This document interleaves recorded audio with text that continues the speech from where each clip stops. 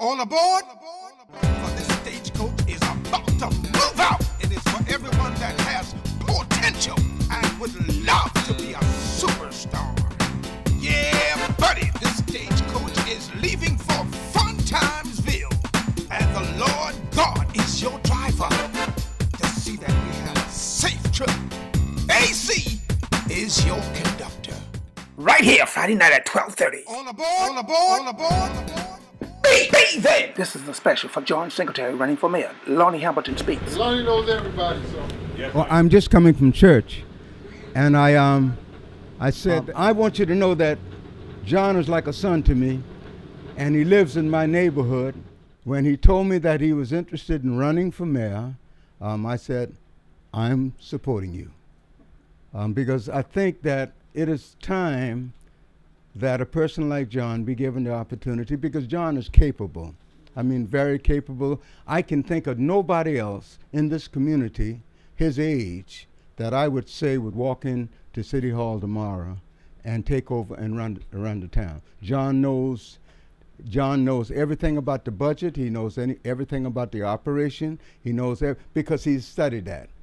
And many of us don't do that. Um, so I'm just happy to see you guys here because it, it's time that we take that when I say we, we the people, the little people, um, get a chance to be involved in making a decision um, in this community. Um, if you look at it now, we don't have we don't have any decision. We can't make any decision. We are told, you know, everything is fine for us, but in, we don't we don't get a chance to make any decision. And I'm so glad to see all of us here. You know, we haven't had a chance. You understand? All these years, we haven't had a chance to, to say, let us for one day do something and be in charge of something. And I'm so glad that you are here so that you can give him some, some support. He deserves it. He's had a rough time with the city of North Charleston, and it's time that, with his understanding of, of everything that went on there, it is time that he get a chance then to represent us. And he'll treat us much fairer than the others have. So I thank you so much for allowing me to say something tonight and for what you will do to help John. On election day now, tell all your friends because you know them. I'll say this and I'm through. I was talking to a black guy from Ohio at the convention, um, and he moved to Salt Lake City. Now you don't see black folk that much in Salt Lake City. That's in the mountain. We don't care about the mountain, you know. so we don't want to live there. Anyway, I was talking to him. He said, "Seriously, I don't know you." He said, "But um, I enjoy talking with you today." He said, "You know, us black folk, we like to, we how you put it, we like to get get ready to get ready. So every day you see us, we getting ready to get ready. So I'm happy that you are not waiting to get ready on election day, that you're doing it now. Thank you very much. AC Fun Time Superstar. Hi, this is AC, and now we take a break. The candidate for mayor, John Singletary, is running for mayor of North Charleston. We're going to take a break now. We're going to Waterloo Island, Margaret Gray Drive. Fun under the sun every Sunday afternoon at 6 p.m. Last Sunday was this powerful band that we are looking to have back. To be Bill Wilson and the secret ingredients. Please do enjoy. The next voice that you hear will be John Singletary, Mayor for North Charleston. Right after Bill Wilson and the secret ingredient. But you know, we all kind of still in a bad way after the going down in Charleston. Oh, but surprisingly, it has um, kind of brought people together a little bit more. But you know, it's time to put away oppression, put away prejudice. We need to find love somewhere, which it only comes from the man from the God. You know what I mean?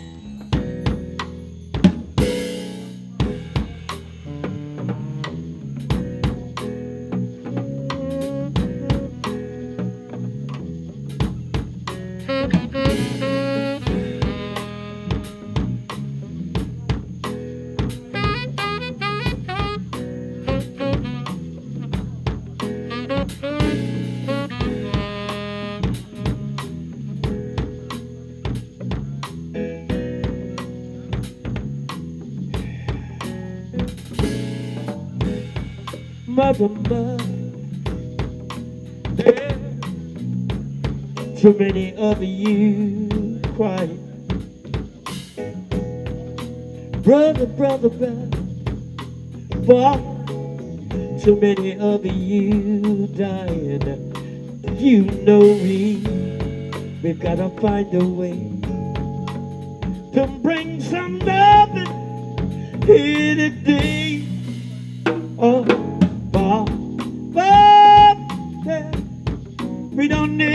need to escalate. War is not the answer. Only love can conquer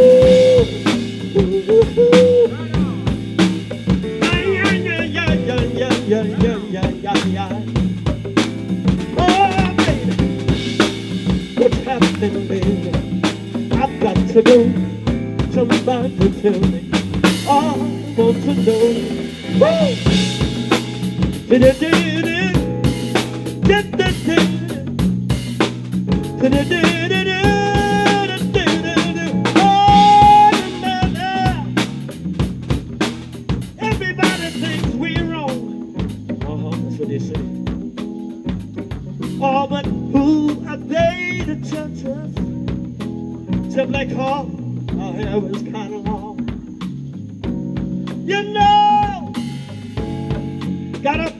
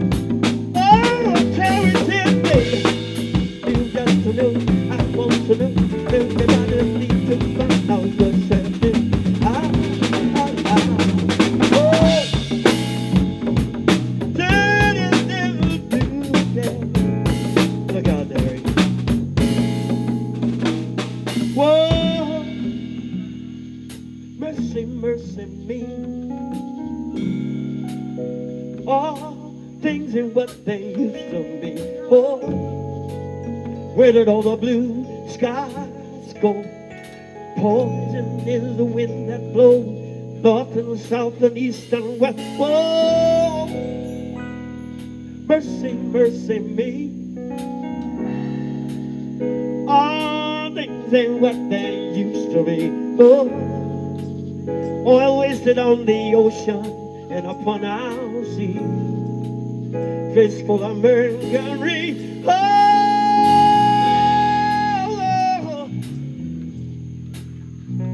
mercy, mercy me. Get off, Bill. All things ain't what they used to be. Oh no, baby's dying, people cry. No food to eat. Why? There's food everywhere. Why are people starving with no food? There's so much food they're throwing away in gallons. Millions of tons of food a day. Yet you got people crying. You got people dying because they don't have no food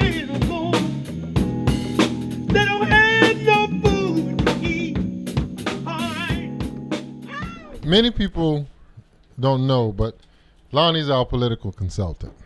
I say Lonnie's our political consultant because anytime there's a question that comes up that deals with politics in North Charleston, I can go to Lonnie day or night and get an answer. That's late at night sometimes when I walk in, 11 o'clock, and I ring his doorbell, and gladly he comes to the door. Early in the morning, we have no time limits when it comes to accessing the knowledge that Lonnie has. And when we take a look at someone who's been in politics in the Charleston County area that is still respected, Lonnie has to come to mind. He has to come to mind because he's weathered the storm. And so he is the wind beneath the wings that we fly on for North Charleston. And I thought it's important that you know that. When it comes to North Charleston, we all know that the fair share that we're looking for, the level playing field for some whites and many blacks, we've not been given that opportunity. I say whites and blacks because many of our local whites are missing out. They're missing out because there is an undercurrent, there's an overriding present administration agenda to decrease the number of African Americans and increase the number of Caucasians, whites. Why? Because it allows the constituency base to change from 50% to 38% to where they really won't need the vote of the African American community. And much like what happened to downtown, they will be run out of North Charleston. We as a community, we need to bring together the unity that has always been here. It's not because blacks and whites don't love each other, because we went through that with integration. When you have one parent who has three children and they give all the resources to one, it creates strife between the children. Not because the children don't love each other, but because the parent has misapplied the resources.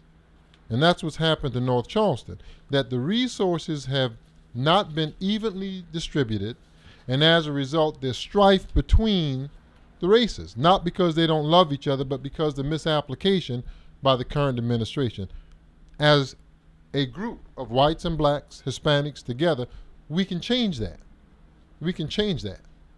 We can bring to North Charleston a level playing field that gives oppor- opportunity to everyone. Everyone here. When we take a look at the budget, it's $105 million. $66 million goes towards the wages. We look at the chart on the wall, the first one on the left, top, 50% African American, 12% Hispanic, 38% white. But when we come down and we look at the contracts, $40 million worth of contracts, 5 million going to 62% of the population. That means $2 million goes to blacks and Hispanics, $38 million in contracts goes to whites. Many who are transplants and people who do not even live in the city of North Charleston. When we look at the wages, we see on the top right here that there's an unequal distribution of the wages. When we read the diversity report, it says very clearly nepotism is the overriding way that the city uses in terms of a method of assigning jobs. So if you are a family member or you're close within the mayor's circle, then you get a job. If not, you don't. We look at the chart underneath it.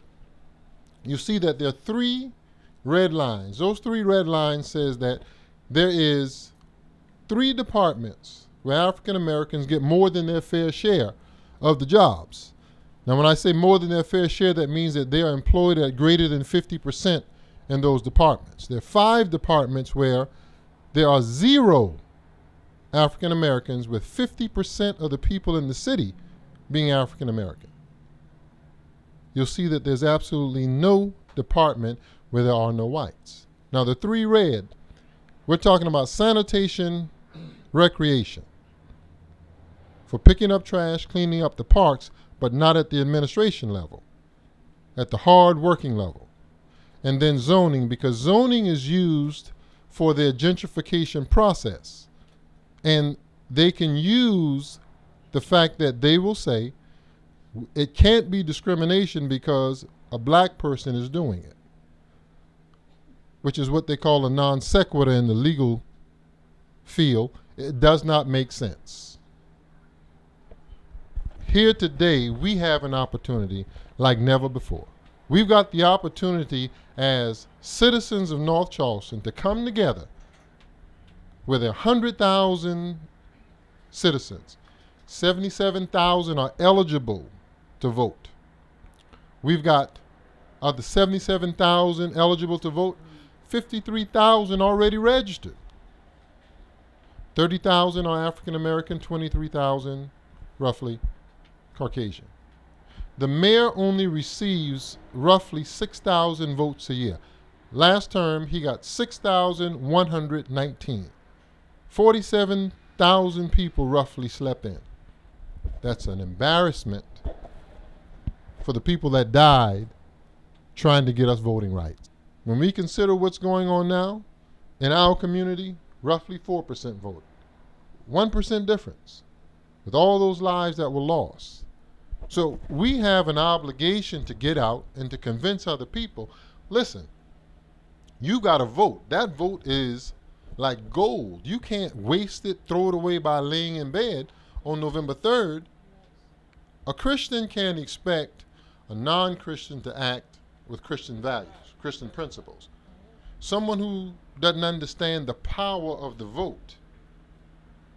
We, as voters who are registered who want change, we can't expect them to understand that that vote has more power than a lump of gold.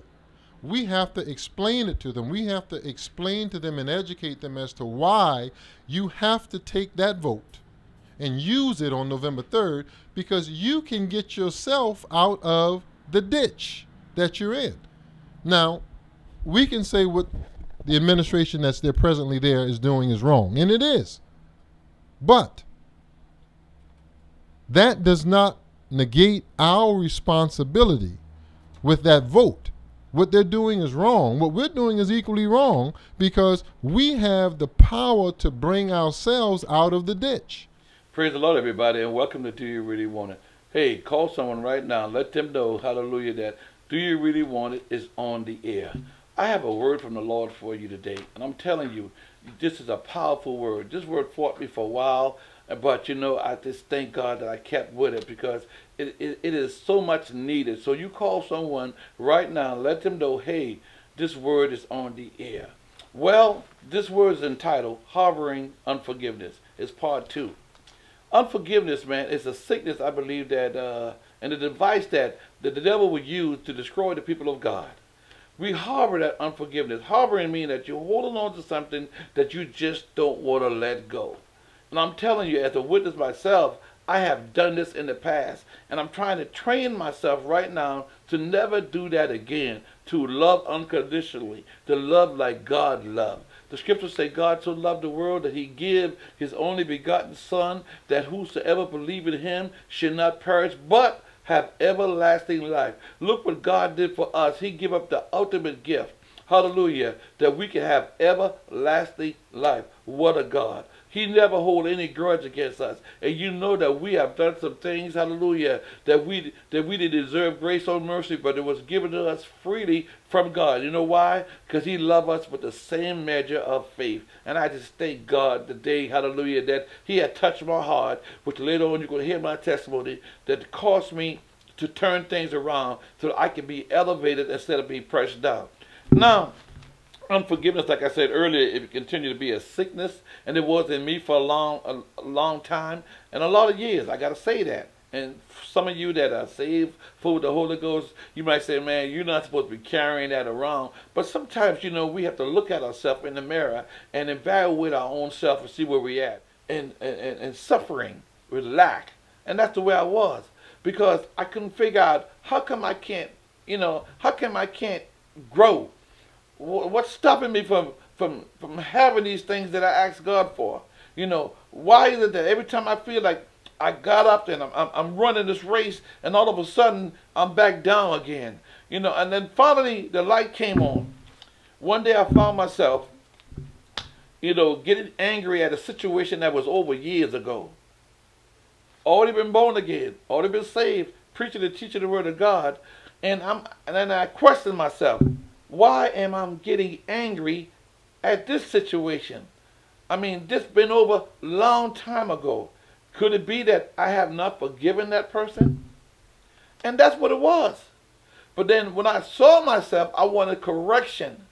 Now, this is what I had to do. I had to move myself out the way. And I noticed by moving myself out the way who I was. I was very selfish. I was very self-centered individual. Because I only thought about my feelings. Now, if I should pull a coin out, a quarter, what it might be, on it tells me it has two sides. So it's two sides to every story. And a lot of times we harbor unforgiveness and we're so angry at that person or that individual for hurting us, and you forgot there's another side there too. I mean, we all fall short of the glory of God. So I can't say that I am perfect, that I didn't make any mistake. I didn't say anything that that uh, didn't hurt that other visual, uh, other individual. Uh, it's a crusade that we would say, sticking bones might break our bones, but words will never hurt us. Words can get you killed. And I remember by just looking back at the situation, some of the things that I have said and I have done. When God began to show me myself, then I began to humble myself. You know, he said, the humble will taste the grace. And I wanted to taste God's grace because I was sick and tired of just fighting a battle that I just couldn't win and wondering why I can't uh, be elevated, why I'm not being blessed, you know, why God is not using me in the areas that I felt like He should use me in, because my spirit just wasn't right because I was harboring unforgiveness. Okay, one thing I love about a word is that when God give it to any minister, any preacher, is that you know, it comes to you first, and they have to work you first. And once you see yourself in that word, because we all fall short of the glory of God, you can give it to someone else, and you have to speak it with compassion. So I'm trying my best today to give you this word that God, God had given to me. Now, sometimes God will, will, will, will show you that, uh, you know, this is what he wants you to do because he will put people in your pathway. I heard a story about this, this young man that was married to this lady. And she cheated on him. And it devastated him. Apparently, the guy that uh, she cheated with, he knew. So, in his spirit, man, I'm telling you, it was a battle that he was dealing with. Make a long story short, as, as I was told the story, is that his wife, long time died, but he's still holding a grudge against this man. And she's dead. How long are you going to murmur? How long are you going to hold on to something that's going to just come to kill, to steal, and destroy you? Because it, it, it is a device that Satan will use to bring you down. See, God came to give you life and give you life more abundantly to build you up. How long is going to take you to see it's not your will, but it's thy will be done? Move yourself out of the way. And that's what I had to do for myself. I saw that I was selfish because I only sell things one way. And like I told you earlier, it's two sides of the coin. Now, forgiving someone can be difficult. Yes, it could be, only because you put yourself in the way. You don't want to see. I'm going to bring forth a message to you one day. I can't see myself. You can't see yourself because you're too busy looking at yourself. It's all about me, myself, and I. Nobody else does matter. No matter what people tell you, what people showed you, you still don't see yourself. Understand? Because you're too much into yourself. So I'm saying if you will humble yourself, pray and see God's face and turn from your wicked ways. See the things about you that are wicked. And if you're harboring unforgiveness, and I'm telling you, I know this is a powerful word today because you got brothers and you got sisters and you got family members warring against each other because something they feel like they, they have done to one another. You understand? But you hurt me in that way. You shouldn't have done that. You took this, you did that. I remember a story about five or six years ago, right here in North Charleston, where a brother killed another brother with an axe. What what reason does he have to do that? To raise up against his own brother with an axe and murder him in such a, a vicious way. unforgiveness, holding that evil in your evilness in your heart. I'm telling you, and that's what it is. I'm 60 years old right now. And Lord, if I can tell you some of the things that I have done and what I have said, I'm telling you that I have put in that dark closet that nobody else know about, you wouldn't like me at all. But guess what? Grace be to God. He hears me when I repented. When I said, Lord, please forgive me. Before we go any further, I'd like to let you know how to contact Reverend White. The telephone number is 843 452 3314. You can email me at this address, do you really want life at yahoo.com. I would love for you to make friends on Facebook with James M. White. For each week, I would like for you to see the conclusion of our mention. I would like for you to stay tuned because we come to you every Friday night inside the AC Fun Time TV. That's Friday night at 12:30 and Saturday morning at 9:30. That's inside the AC Fun Time TV on Comcast C2. And right about here, right about here, we'd like to take a break. We're going to visit Bill Wilson out at Watermelon Island, Margaret Gray Drive. That's the address, Watermelon Island. Make it a date, don't you dare be late. Every Sunday afternoon at 6 o'clock. Clean fun and fun under the sun. The next voice you hear right after Bill Wilson will be running for mayor of North Charleston, John Singletary.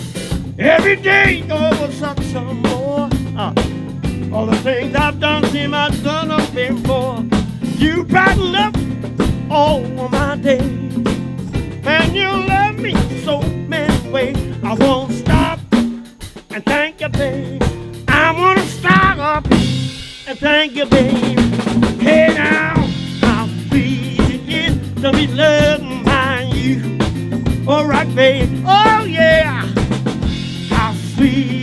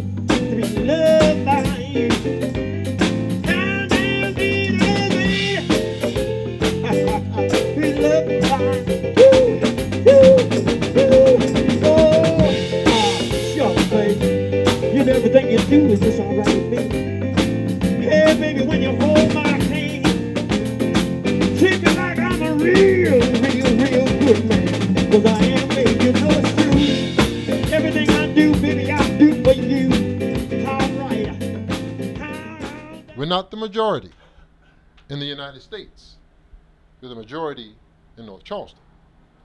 When we consider we are the largest city with African Americans in South Carolina, 50,000 strong. We don't even have, with a $6.5 billion retail sales, the highest in the state for the last 30 years. We've grown from number nine to number three in terms of population. 6.5 billion, we don't even have a black bank here. Every Monday morning, our organizations run and dump our money into another man's hands. And if we ask him for a loan, he usually says no. But when he does, there's a racial surtax attached to it. You pay more in interest, more in closing costs. But we don't have to continually allow ourselves to be treated like that. We have an opportunity this time to get out and every day until election time convince someone else that, listen, don't go to sleep on November 3rd and allow your opportunity to bring jobs to your community and to your household to allow that to pass away. You know, oftentimes I hear my brother Larry say that Tip O'Neill said, politics is local. And it's true. The things that the president have done, we will realize some of those benefits for years to come. He stacked the deck for us at the appellate court, never done before. Most of our court cases only get to the appellate court. Very few get to the Supreme Court. So he knew what he was doing when he stacked the appellate court, not the Supreme Court, because we don't get to the Supreme Court. Those things will be realized in time, but for immediate relief, the politics is local. So we have to take that vote on November 3rd and go over and use it. We are cashing in the check that Martin Luther King talked about when he said we're going to Washington to get paid, to get the check cashed that they gave us that was NSF. We're talking about the vote. We can do that on November 3rd. We can cash that check by going in and voting for a new administration. One that's going to give fundamental fairness, level the playing field for blacks, whites, and Hispanics, Indians, Chinese, Japanese, all the people that are in our community. We take a look at the Weed and Seed program. $1.2 million per year, 10 years. $13 million that was given for union hikes to change the crime rate because the study that was done nationally said that you have the seventh worst neighborhood in the nation and the worst street being Echo. And so through the Department of Justice, what we're going to do is we're going to give you a weed and seed grant to change that. The money was taken after they enlarged the territory to consider Chicora Cherokee and then Liberty Hill. It was taken and diverted over to Oak Terrace. John C. Calhoun's were torn down. And when they tore John C. Calhoun's down, they ended up taking those funds to build a neighborhood that is owned by the city of North Charleston. When you take a look at the resolution or contract between Sidrus that gets paid $9,000 a month, it clearly says that the city owns Oak Terrace, 99% Caucasian. There's no reason why a city with 50% African American should take the dollars given to the low socioeconomic community for crime prevention and divert it to a community that they own and that they control fully, that it is a 99% white community. When we take a look at the South Carolina Department of Safety report, it says that between 2011 and 2015, they did a study. And I know oftentimes you'll feel that, well, we're being targeted in our community. That study said that there was 122,818 stops where people were not given tickets. No ticket. So that means that you were stopped unjustly without cause. Out of the 122,818 stops, a total of 80,250 belong to African Americans, 65% of them. That means that the South Carolina Public Safety Report proves that racial profiling goes on in North Charleston. And this is based on data that North Charleston gave them. No one else. The reports and the statistics that I talk about, these are things that North Charleston have reported. And now sit back, relax as we go for a break. We're going to take you back to Fun Under the Sun with Bill Wilson as he talks about the fact that we need more love. Bill, take it and away. just continue to testify where you left off on the last break. We need more love. Everybody need love, all right. Ooh.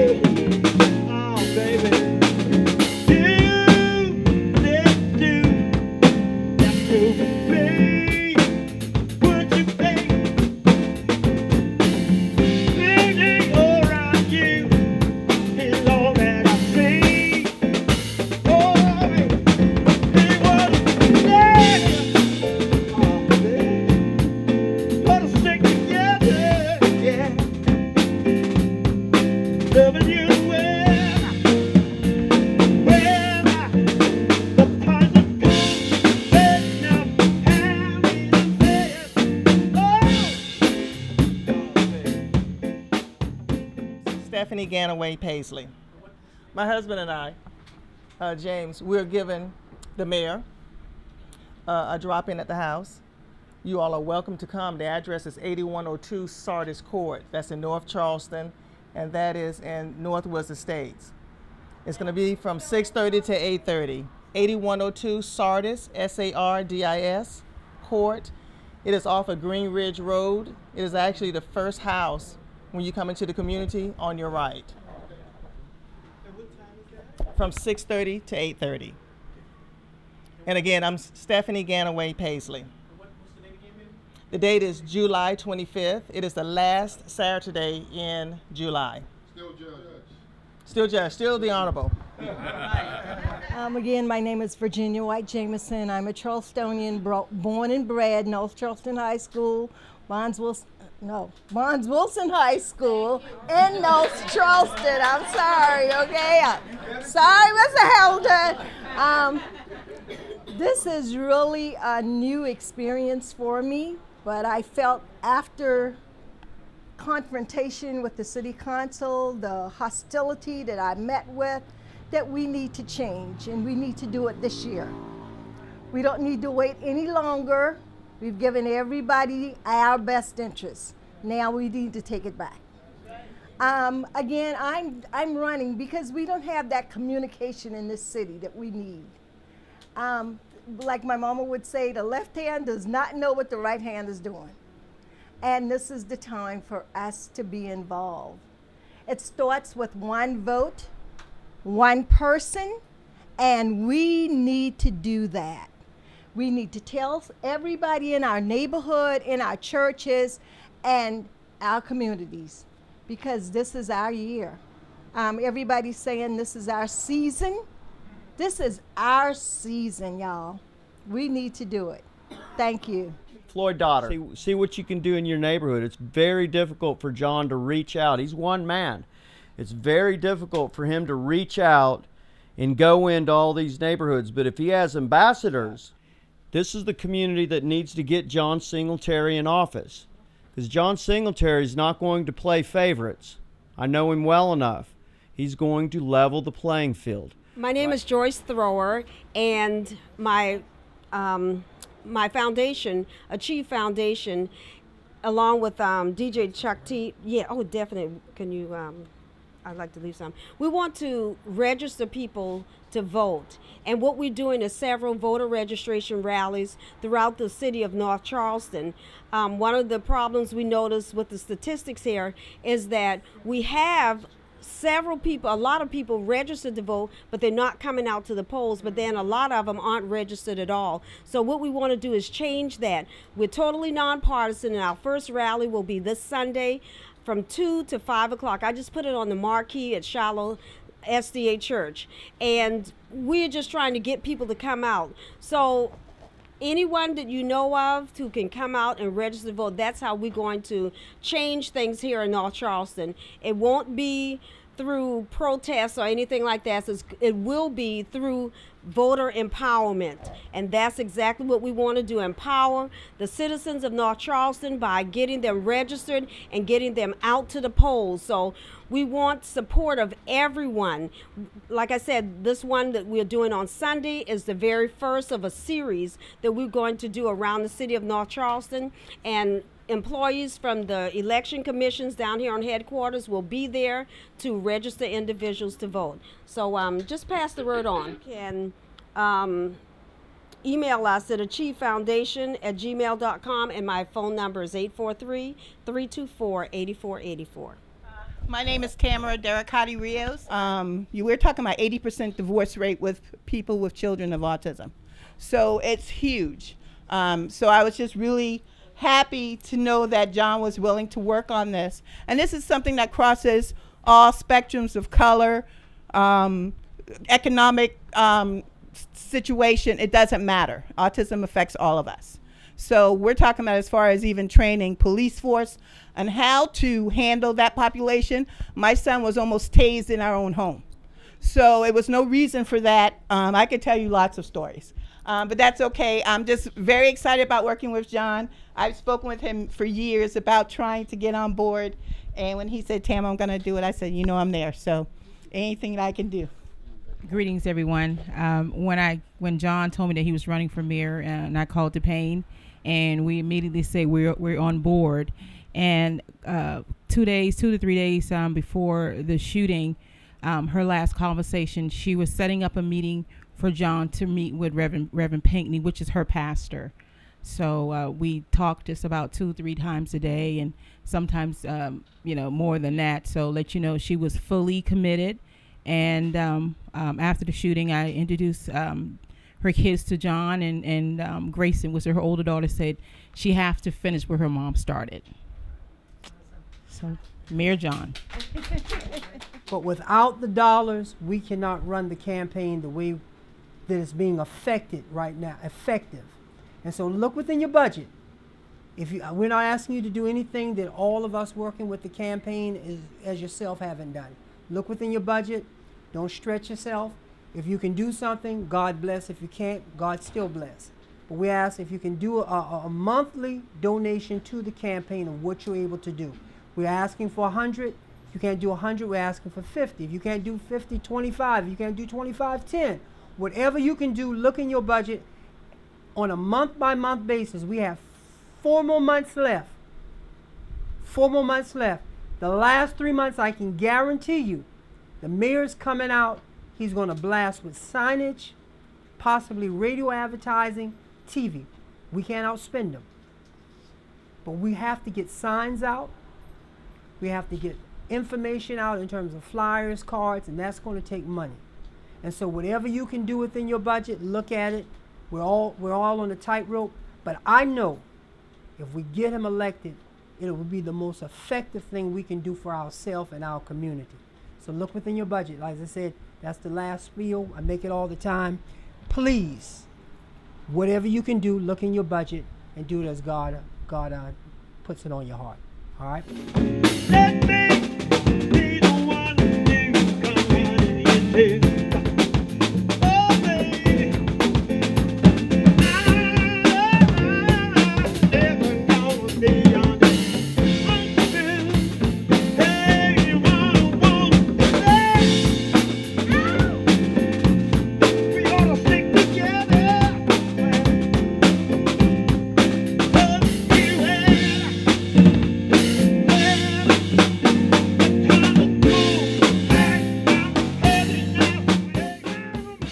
Want to see Bo Wilson back out at Fun Under the Sun, stop by and let us know.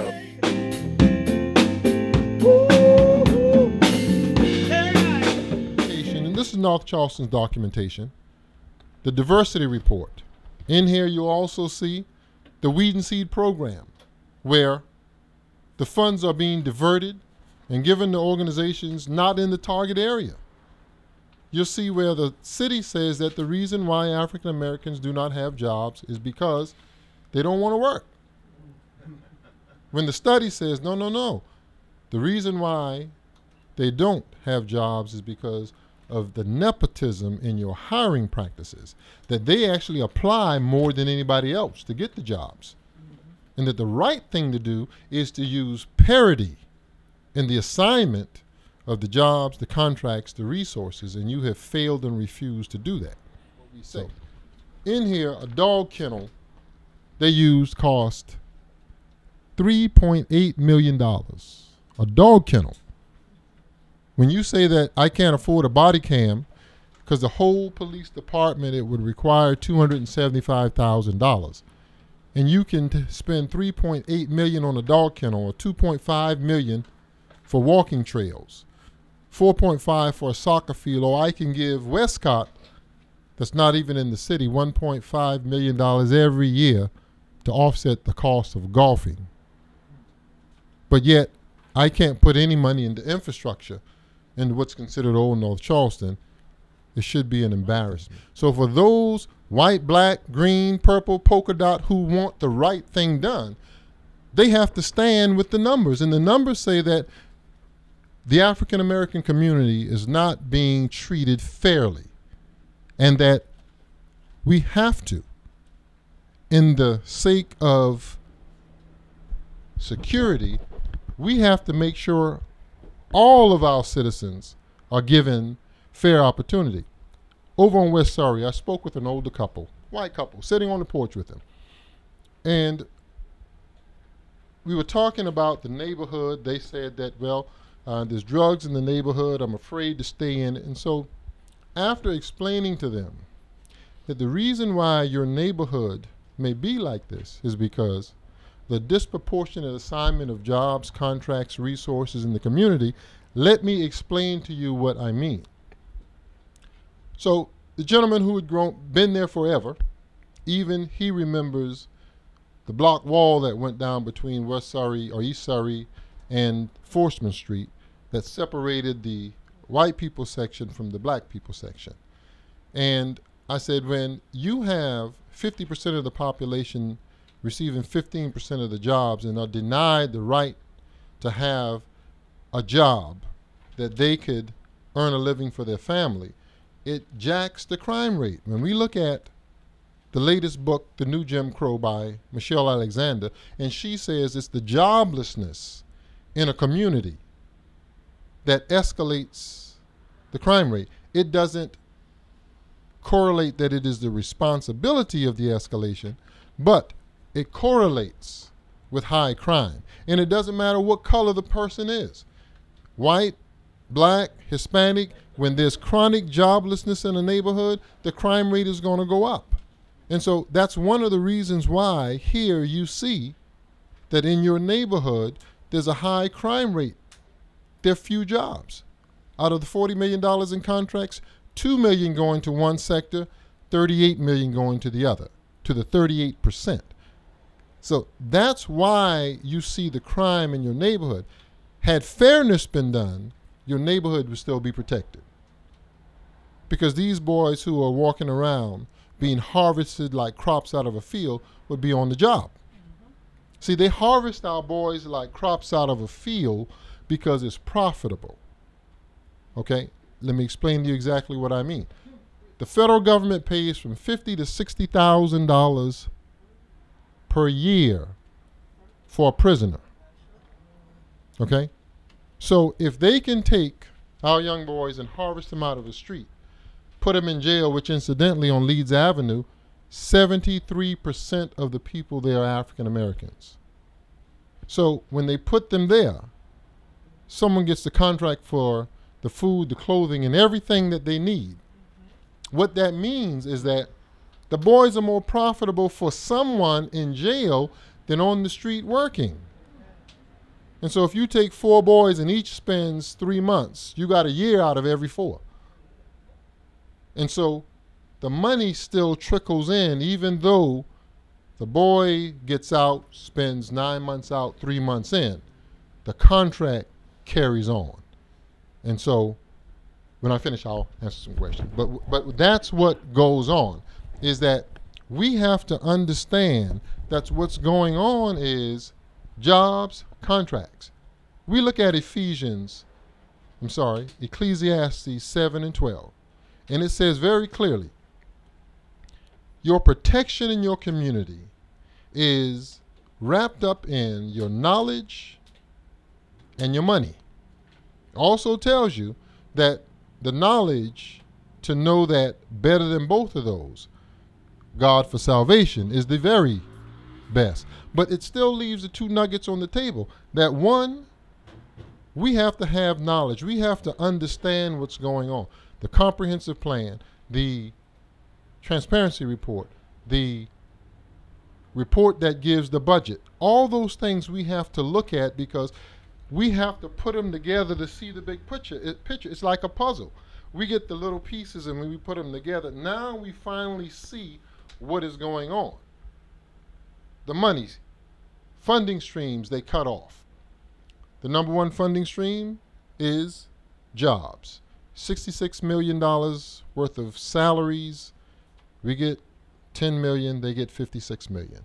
Jobs have been cut off, that funding stream. 40 million in contracts, 2 million versus 38 million cut off. Lawsuits. If you've got a lawsuit, If you're African American in South Carolina, it will probably end in a pretrial adjudication. Summary judgment before it gets to a jury, before it gets to a judge, it's going to end because that's a funding stream. And so think if you had a $2 million lawsuit, how many people in your family, your church, your children, grandchildren would benefit from that? When you cut off the funding streams, there's no money, there's little knowledge, there's no protection. 12,000 students in North Charleston. 4,000 at one time were in failing schools. We don't have one city high school, not one, that is passing. The three here that are passing are county schools military magnet, academic magnet, school of the arts. So when our children come from the elementary level to the middle level and go to a high school, and there are none here that are passing when the county schools very few of our students go to, then what happens? Not only can they not get into college, but it breeds an underclass so manufacturers coming in will have something to cherry pick from. And that is what's happening. Now, I can go on and on. There's a million things I love to talk to you because I stay up hours at night. Lonnie's come by and I'm sure he sees my window open uh, on four and five in the morning. But it's because I'm trying to understand with crystal clarity what is going on to our community. And I need to tell you that I'm not doing this because of any type of vendetta. I'm not doing this because I feel that I have to be the person to go in there and straighten it out. When we took a look at, and other people, my brother Larry, Ramon Roan, when we, I talk to Lonnie all the time, and I know he thinks it's, uh, uh, he's just talking to be talking, but every nugget he gives me, I take it and I use it.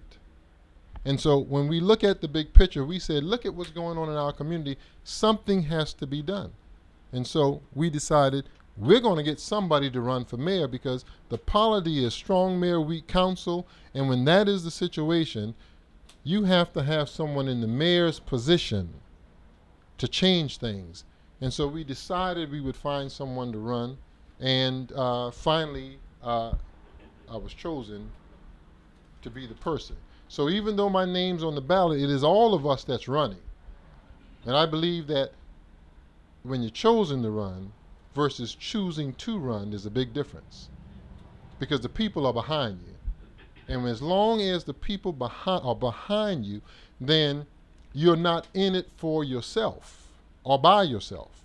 And so that's where we are. We are a group moving forward. This is a pattern and practice investigation that they're going to do against North Charleston.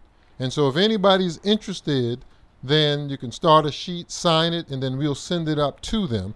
They came down and we spent some time with them. Uh, we told them what we were trying to do, what has happened in the past. Uh, and because of the Walter Scott situation and many other situations, that's not the only one. I'll pass this around and you'll see six or seven similar situations like the Walter Scott that they're looking at. And so a pattern and practice investigation will probably ensue. I just got this from them. And as a result, uh, I'm going to pass around for you all to look at.